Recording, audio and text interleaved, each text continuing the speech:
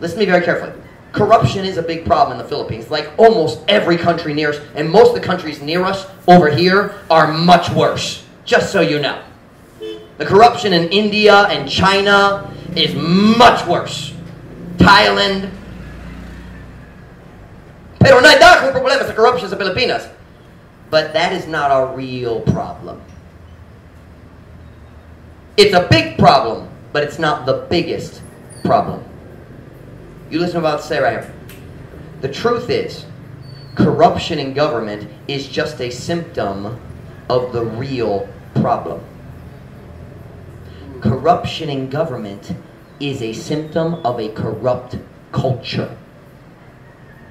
The people in the government came out of the culture. You know what about? Last time I checked, we elect our officials in the Philippines. Kita makaboto. Dagang tao mag maghonghong, magreklamo kabayan sa corruption dito sa government. Pero diha sa panahon sa election, Right. Hmm. So kung corrupt siya sa paghatag, o ikaw mo dawat, unsa man ka, corrupt gihapon.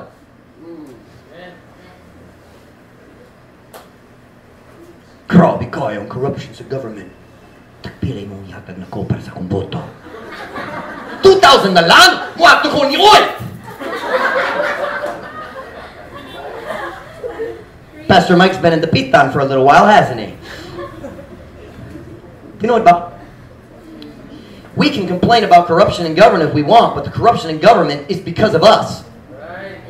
Kung wala'y tao mo baligid sa ilang boto, dili sila mo palit sa mga boto. Tinood? Mm. Amen. Eh. By the way, if you sell your vote, dapat ka maulaw sa imong kaugalingon. Mm. A corrupt government is a result of a corrupt culture.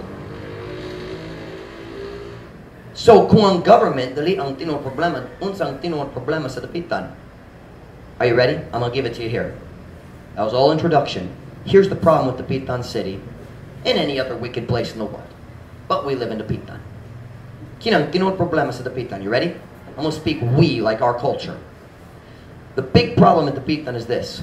We don't think we need God. Wala ta nagatuo nga gikinahanglan na to ang tabang sa Diyos. Most people in Dapitan are like the foolish man in Jesus' parable.